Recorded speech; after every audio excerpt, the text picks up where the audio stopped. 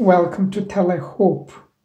A mother and a son went hiking during spring when the snow was melting. They had to cross creeks which resembled raging rivers.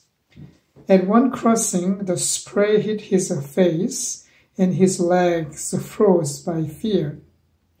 Then his mother reached toward him, encouraging him. So he reached for her help. In our lives, we come to the same sorts of crossings, troubles, and difficulties. They too can seem impossible to cross. We feel like walking through the valley of darkness.